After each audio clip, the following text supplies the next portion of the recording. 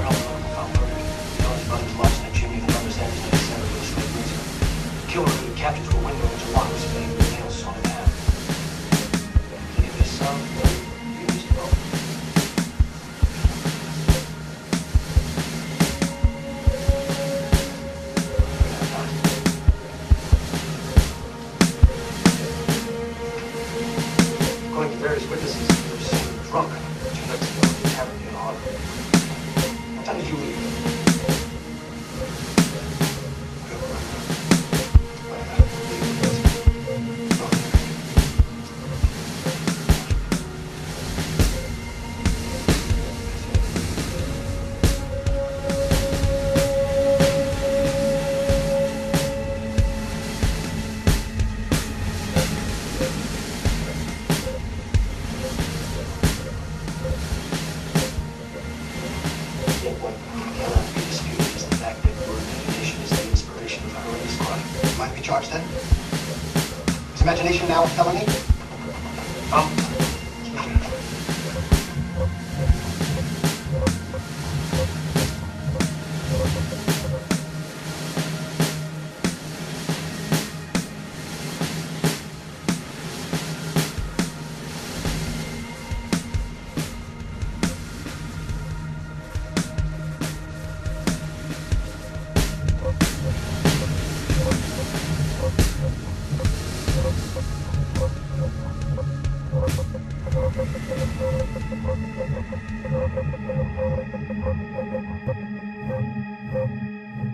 Charged then?